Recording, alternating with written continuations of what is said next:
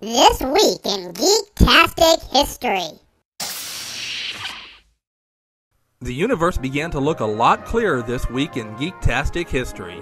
On April 25, 1990, the Hubble telescope is placed into low Earth orbit by the Space Shuttle Discovery.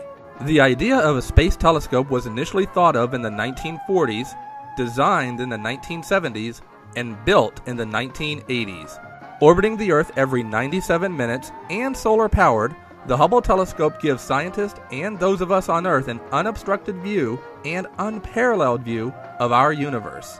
Among some of its spottings are black holes, comet collisions, the surface of Pluto, and even far, far away galaxies. This week in Geektastic History.